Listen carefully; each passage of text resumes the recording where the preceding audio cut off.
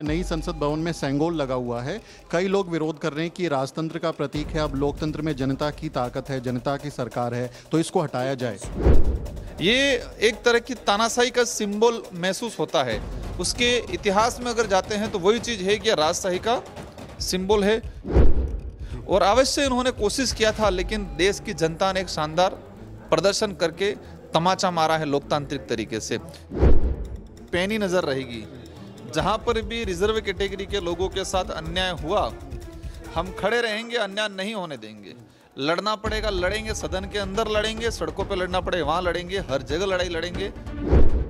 ये जो रह रहे के अंदर की भावना है जो निकल के आ रही है लोगों में इस भावना को कैसे देख रहे हैं? क्या हिंदू राष्ट्र का खतरा अभी भी मौजूद है या संविधान को मानने वाले लोगों ने सबक सिखा किसी धर्म के नाम से राष्ट्र का निर्माण करने की क्या ज़रूरत है? संविधान में कहाँ लिखा हुआ है? मैं कह रहा हूँ, ये जो चिल्ला रहे आज हिंदू राष्ट्र, ये कह रहे थे 400 पार।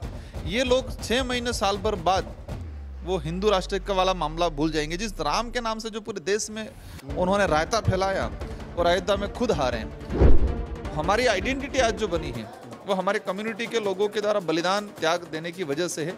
तो हमारा फ़र्ज़ बनता है कि इस इतिहास को उजागर करें और संवैधानिक जो प्रावधान है उनकी रक्षा हम करें। राजस्थान की अगर बात करें तो आपके शिक्षा मंत्री ने आदिवासियों के डीएनए पर सवाल उठाया, जिसके बाद काफ़ी विरोध प्रदर्शन भी हो रहा है और लोग अपने डीएनए सैंपल भेज रहे हैं। ये, मदन दिलावर जी का इशू ने उनके अंदर जो मानसिकता भरी हुई है, उन मानसिकता का इशू है, वो इतनी गंदी सोच रखते हैं और इनको भुगतना पड़ेगा। जो शिक्षा मंत्री है, जिसके पास जो डिपार्टमेंट है, जो आने वाले भविष्य तय करेगा, इस तरह का मंत्री, ऐसी डिपार्टमेंट का मंत्री, ऐसा अगर बयान देता है तो इससे बड़ा दुर्भाग्य राजस्थान का और पूरे देश का नहीं हो सकता है। जय भीम, बहुत बहुत स्वागत है आपका हमारी इस खास पेशकश में। मेरे साथ इस वक्त एक ऐसी शख्सियत हैं जो अपनी खास पहचान रखती हैं। राजस्थान में भारत आदिवासी नाम से एक पार्टी बनाई और पहली बार सांसदी का चुनाव लड़ा और सीधे देश की संसद में पहुँच गए। जय भीम, जय जोहार का नारा संसद में सुनाई दिया और एक बुलंद आवाज़ संसद में आने वाले पाँच साल में सुनाई देगी। राजकुमार रोत इनका नाम है। ऊँट पर बैठकर संसद पर पहुँचे थे। ये खास अंदाज आदिवासियत की पहचान, इसको कैसे आगे बढ़ाएँगे? बिल्कुल मुझे अवसर मिला है पूरे देश के आदिवासी का नेतृत्व, साथ ही हमारे S C community OBC minority और दलित, और साथ ही मैं तो उनमें बात करता हूँ कि जो मानवता में विश्वास करते हैं। मानव धर्म सबसे बड़ा धर्म मानते हैं। उन सब की आवाज़ बन के सदन के अंदर गूंजेंगे। मैं, मेरे निर्वाचन क्षेत्र की जनता, बांसवाड़ा की जनता को धन्यवाद देना चाहूँगा आपके चैनल के माध्यम से कि उन्होंने मुझे इस काबिल बनाया। और मैं अवश्य कोशिश करूँगा कि इस पाँच साल के अंदर पाँच साल के अंदर बेस्ट परफॉर्मेंस करें, ताकि हमारे जो गरीब दबे कुचले समुदाय के जो लोग हैं, उनके अंदर एक एनर्जी आए। हमारा जो दबा कुचला इतिहास है इतिहास को आगे लाने की कोशिश करेंगे। और जो रिजर्वेशन की जो लड़ाई है, उस लड़ाई को बेहतर ढंग से हम सदन के अंदर लड़ेंगे। क्योंकि आज तक हमारा समुदाय, भले कोई भी सरकार रही हो, किसी की किसी की भी केंद्र में, स्टेट में पार्टी रही हो, लेकिन हमारी कम्युनिटी के लोगों के लिए आज भी दबा हुआ है। हर प्रकार का रिजर्वेशन के मामले में सबसे बड़ा खिलवाड़ हो रहा है। और आज जो ये कार्यक्रम का जो मेन विषय था जातिगत जनगणना ये सबसे बड़ा मुद्दा है क्योंकि देश में जातिगत जनगणना होनी चाहिए। हम फॉरेस्ट में अंदर वन विभाग के अंदर जनगणना करा रहे हैं कि इसके अंदर शेर कितने हैं पैंथर कितने हैं। मतलब जानवरों की जनगणना करा रही है सरकार लेकिन कम्युनिटी की जनगणना नहीं करा रही है। ज़रूरी इसलिए है कि उसके हिसाब से स्कीम बनेगी उसके हिसाब से सिटी डिवाइडेशन होगी उसके हिसाब से सदनों के अंदर प्रतिनिधित्व आएगा। लेकिन ये लोग धीरे धीरे धीरे धीरे गाँवों में कई इलाकों में जातिवाद तो बना रखा है बहुत सारा लेकिन जनगणना नहीं कर रहे तो हमारा सबसे बड़ा मुद्दा रहेगा कि जातिगत जनगणना हो। साथ ही प्राइवेट सेक्टर को जो लोग बड़ा दे रहे हैं गवर्नमेंट सेक्टर को कम कर रहे हैं तो रिजर्वेशन पॉलिसी प्राइवेट सेक्टर के अंदर भी होनी चाहिए, उस उस, उन लड़ाई को लेकर हम लोग शानदार तरीके से लड़ेंगे। तो रिजर्वेशन प्राइवेट सेक्टर का एक बड़ा मसला है, जिस पर काफ़ी जो है डिमांड रखी जाती है कि ये दिया जाए, लेकिन जो सरकारी रिजर्वेशन है, वही पूरा नहीं मिल रहा, उसमें से भी कई बार बैकलॉग रह जाता है नोट फाउंड सूटेबल कर दिया जाता है। तो अब जो नई संसद बनी है, जिसमें ज़्यादा नुमाइंदगी रहेगी आप जैसे लोगों की तो क्या ये हकमारी नहीं होगी, इसमें आपकी नज़र रहेगी इस पर? पूरी हंड्रेड परसेंट नज़र रहेगी, कहते हैं वो पैनी नज़र रहेगी। जहाँ पर भी रिज़र्व कैटेगरी के लोगों के साथ अन्याय हुआ, हम खड़े रहेंगे, अन्याय नहीं होने देंगे। लड़ना पड़ेगा, लड़ेंगे, सदन के अंदर लड़ेंगे, सड़कों पे लड़ना पड़ेगा वहाँ लड़ेंगे, हर जगह लड़ाई लड़ेंगे, अन्याय नहीं होने देंगे। हमारी जानकारी में जहाँ पर भी आएगा, हम लड़ेंगे। आपने शपथ ली तो उस समय पर जय भीम, जय जोहार का नारा लगाया और इस बार संसद में जय भीम का नारा, जय संविधान का नारा बहुत गूंज रहा है। ज़्यादातर लोग इस तरह के नारे लगा रहे हैं। तो नई तरह की एक इबारत है राजनीति में कि दलित बहुजन आदिवासी राजनीति की शुरुआत हो गई है। तो क्या ये राजनीति आने वाली पाँच साल की दिशा तय कर देगी कि अब जो राजनीति होगी, वो दलित बहुजन आदिवासी के नाम पर ही होगी, अब इसी पर एजेंडा सेट होगा? बिल्कुल, क्योंकि इन कम्युनिटी के लोगों को हमेशा दबाया गया। संविधान निर्माण में मुख्य भूमिका रही बाबा साहब अंबेडकर के, जयपाल सिंह मुंडा की, इनके अलावा और भी कम्युनिटी के लोग थे, सबकी रहेगी लेकिन वो वास्तविक जिनकी जो भूमिका रही, उनको दबा, दबाया जा रहा है मतलब उनके इतिहास को कमज़ोर किया जा रहा है। साथ ही आज जो हम इस काबिल बने हैं, वो कहीं ना कहीं संविधान संविधान के आधार पर बने हैं। संविधान के अंदर रिजर्वेशन पॉलिसी थी, और रिजर्वेशन पॉलिसी भी इसलिए आई कि हमारे लोगों ने अंग्रेज़ों से, मुगलों से लड़ाई लड़ी, त्याग बलिदान दिया है और इसी वजह से ये प्रावधान हुआ है। तो हमारी आइडेंटिटी आज जो बनी है वो हमारे कम्युनिटी के लोगों के द्वारा बलिदान त्याग देने की वजह से है। तो हमारा फ़र्ज़ बनता है कि इस इतिहास को उजागर करें और संवैधानिक जो प्रावधान है उनकी रक्षा हम करें। आपके यहाँ के राजस्थान की अगर बात करें तो आपके शिक्षा मंत्री ने आदिवासियों के डीएनए पर सवाल उठाया जिसके बाद काफ़ी विरोध प्रदर्शन भी हो रहा है और लोग अपने डीएनए सैंपल भेज रहे हैं। इसको कैसे देखते हैं? क्या प्रतिक्रिया? ये मदन दिलावर जी का इशू नहीं, उनके अंदर जो मानसिकता भरी हुई है, उन मानसिकता का इशू है, वो इतनी गंदी सोच रखते हैं और इनको भुगतना पड़ेगा। आज पूरे देश के अंदर इस बात का विरोध हो रहा है, सड़कों पे हो रहा है, सोशल मीडिया पे हो रहा है।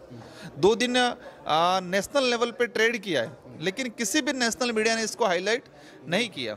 नेशनल लेवल पे ट्रेड करना, एक नंबर पे आना मतलब देश के अंदर कितना आक्रोश है आदिवासी समुदाय लिए को नहीं, साथ में माइनॉरिटी हो, ओबीसी हो, एससी हो, सभी लोगों के अंदर आक्रोश है कि एक बीजेपी का शिक्षा मंत्री, जो शिक्षा मंत्री है, जिसके पास जो डिपार्टमेंट है, जो आने वाले भविष्य तय करेगा, इस तरह का मंत्री, ऐसी डिपार्टमेंट का मंत्री, ऐसा अगर बयान देता है तो इससे बड़ा दुर्भाग्य राजस्थान का और पूरे देश का नहीं हो सकता है।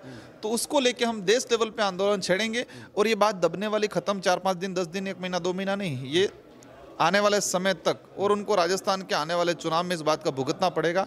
इनकी भलाई इसी में है कि वो माफ़ी मांग लें या पद से इस्तीफा दे दे। अगर वो जब तक नहीं देंगे तब तक ये मुहिम चलती रहेगी। आप जिस कार्यक्रम में आए हैं, यहाँ पर छत्रपाल गंगवार भी सांसद जो बरेली से हैं, वो बैठे हुए हैं और उन्होंने जब संसद में शपथ ली तो जय हिंदू राष्ट्र का नारा लगाया। और वो नारा जो है, उस पर कई लोगों की निगाह थी कि 400 पार अगर आता है तो फिर उससे और बढ़ा जाएगा संविधान को बदल के हिंदू राष्ट्र की ओर बढ़ा जाएगा। ये जो रह रह के अंदर की भावना है जो निकल के आ रही है लोगों में इस भावना को कैसे देख रहे हैं? क्या हिंदू राष्ट्र का खतरा अभी भी मौजूद है या संविधान को मानने वाले लोगों ने सबक सिखा क्या? किसी धर्म के नाम से राष्ट्र का निर्माण करने की क्या ज़रूरत है? संविधान में कहाँ लिखा हुआ है? ये देश विविधताओं का देश है। इस देश के अंदर अनेक समूह अनेक जातियाँ अनेक धर्म हैं। हर व्यक्ति, हर धर्म, हर जाति के कम्युनिटी के व्यक्ति को जीने का, अभिव्यक्ति का आज़ादी है। फिर हिंदू राष्ट्र तो फिर दूसरे समूह कम्युनिटी के लोग कहाँ जाएँगे? दूसरे धर्म के लोग कहाँ जाएँगे? ये एक एजेंडा था उनका 400 पार वाला, हिंदू राष्ट्र वाला, वो एजेंडा फेल हो चुका है। और मैं कह रहा हूँ, ये जो चिल्ला रहे आज हिंदू राष्ट्र, ये कह रहे थे 400 पार, ये लोग छः महीने, साल भर बाद वो हिंदू राष्ट्र का वाला मामला भूल जाएँगे। जिस राम के नाम से जो पूरे देश में उन्होंने रायता फैलाया और अयोध्या में खुद हारे इसलिए ज़्यादा इस पे सोचने की ज़रूरत नहीं उनका एक एजेंडा था। देखो धर्म में जो कोई व्यक्ति आस्था रखता है कोई दिक्कत नहीं है हमें। लेकिन किसी पे ज़बरदस्ती थोपना वो गलत है और इस चीज़ का हम विरोध करते हैं। एक आखिरी सवाल मैं ले रहा हूँ। संसद में नई संसद भवन में सेंगोल लगा हुआ है। कई लोग विरोध कर रहे हैं कि राजतंत्र का प्रतीक है। अब लोकतंत्र में जनता की ताकत है जनता की सरकार है तो इसको हटाया जाए। आपका क्या ओपिनियन बात में जब इस इस नई संसद का उद्घाटन हुआ उस दौरान से ये चर्चा में आया हुआ है। ये एक तरह की तानाशाही का सिंबल महसूस होता है। उसके इतिहास में अगर जाते हैं तो वही चीज़ है कि राजशाही का सिंबल है और अवश्य इन्होंने कोशिश किया था, लेकिन देश की जनता ने एक शानदार प्रदर्शन करके तमाचा मारा है लोकतांत्रिक तरीके से। इस चीज़ का गलत तरीके से ये रास्ता, राजशाही व्यवस्था को लाना चाह रहे थे, लेकिन जनता ने अच्छा बहुमत दे के मज़बूत विपक्ष तैयार किया है। और आने वाले समय में हम कहना चाहेंगे भाजपा के लोगों को भी कि ये देश जैसा है, लोकतांत्रिक व्यवस्था वाला उसको रहने दो। इसी में देश की आम जनता, हर समुदाय का व्यक्ति खुश है। आपको राज करना है, आपको सरकार चलानी है तो संविधान के आधार पर चलाए, ना कि राजशाही सिंगल को हटना चाहिए कि नहीं? आप उसकी मांग लेके हम लोगों ने किया है और हम लोग आगे भी करेंगे कि सिंगल को हटना चाहिए क्योंकि वो राजशाही का प्रतीक है। बहुत बहुत शुक्रिया बात करने के लिए। तो ये थे राजकुमार रोत जी जो कि राजस्थान के बांसवाड़ा से सांसद चुने गए हैं और जो बेबाकी से अपनी बात रखते हैं वो आपने सुना। इस बातचीत पर आपका क्या ओपिनियन है? जो उन्होंने बातें रखी उस पर आप क्या सोचते हैं? कमेंट करके बताएँ। आपसे अपील है वीडियो को शेयर करें और हमारे चैनल को सब्सक्राइब करना ना भूलें। अगले वीडियो में मुलाकात होगी दोस्तों। साथियों, अगर आपको द न्यूज़ बीक का काम पसंद है और आप चाहते हैं कि हम यूँ ही अम्बेडकरवादी पत्रकारिता करते रहें तो हमारी आर्थिक मदद ज़रूर करें। आप अपनी स्क्रीन पर दिखाई दे रहे इस क्यूआर कोड को स्कैन करें और न्यूज़ बीक फाउंडेशन के खाते में अपनी दान की राशि भेजें। क्यूआर कोड के अलावा आप यूपीआई के ज़रिए भी मदद कर सकते हैं। आप हमारी UPI ID News Week at the rate Yes Bank पर भी मदद भेज सकते हैं। इसके अलावा आप हमारे अकाउंट में भी मदद भेज सकते हैं। खाते का नाम है News Peak Foundation account number है zero two three five double eight seven double zero double zero zero six four zero. I F S C code है yes B double zero double zero two three five. Bank का नाम yes bank है और branch है Nehru palace, Delhi.